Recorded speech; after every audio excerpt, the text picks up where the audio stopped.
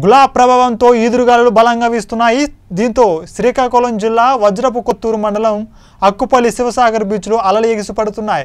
సముద్రం కూడా చాలా వరకు ముందుకు వచ్చి అలలను ఎగిసిపడుతున్నాయి. దీంతో మత్స్యకారులు వేటకు వెళ్ళకుండా అధికారులు ముందస్తు చర్యలు చేపట్టారు. ప్రస్తుతం శ్రీకాకుళం జిల్లాలో గులాబ్ తుఫాను ప్రభావం మొదలైంది. ఈరోజు రాత్రికి ఈ తుఫాను ప్రభావం పెరిగే అవకాశం ఉందని జిల్లా అధికారులు చెబుతున్నారు.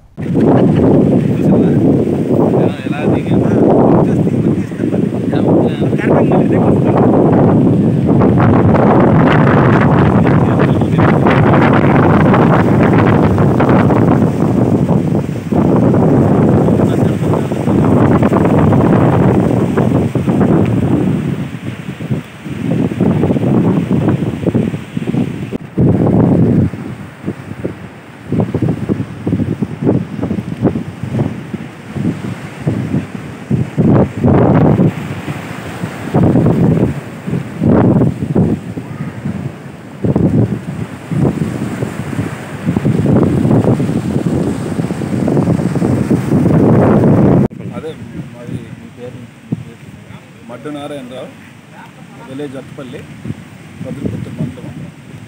అది అంటే తెల్లవారి అంటే నేను మచ్చికాడు నేను. తెల్లవారి వచ్చేటప్పటికి నార్మల్గా ఉంది సముద్రం. కాకపోతే ఇప్పుడు బాగా అంటే ఒక యాభై అరవై శాతం తీవ్రత పెరిగింది.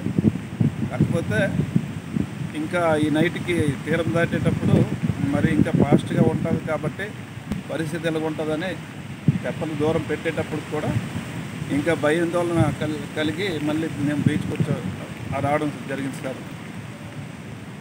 ఇంకా మరి నైటు ఇంకా వంద నూట యాభై మీటర్లో పైకి వచ్చే పరిస్థితి కనిపిస్తుంది. మా తాలుగా అంటే సముద్రం వాతావరణం చూస్తుంటే మా నెంబర్ అంటే మేము ఊహించినది.